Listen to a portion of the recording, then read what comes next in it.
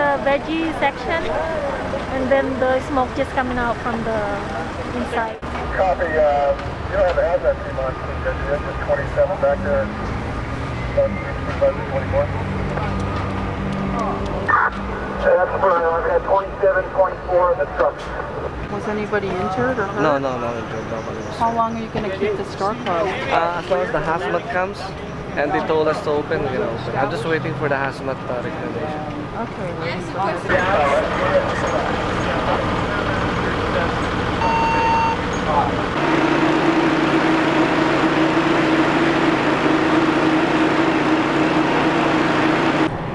Units uh, were called to scene here at the Island Market. A report of an explosion and smoke filling uh, the second floor and the um, uh, different areas of the grocery store.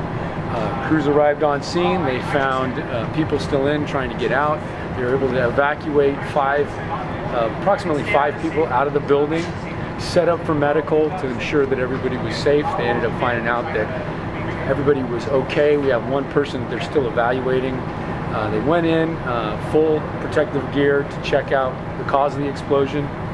The cause of the explosion uh, it is, is under investigation, but we do know it was a Freon mechanical explosion in the, in the area that So it was an supplies, yeah, supplies the Freon to all the refrigeration in the market.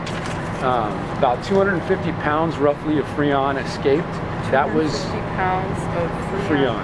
And uh, it escaped, and at that point, that's why you know people didn't know what it was, whether it was smoke. It's kind of a combination of a small fire from the explosion and and, and Freon um, release. The positive thing is the fire was out when they got on, got up to the second floor to look at the explosion area. Um, they were able to isolate that Freon system and ensure that uh, no other Freon came out. And once they did that, there was some product, an unknown product around the machines and the machine area. As a precaution, they brought in the hazmat team, checked out the, uh, uh, the substances. They're non-hazmat. Ends up being coolant and oils from the explosion um, from the mechanical system.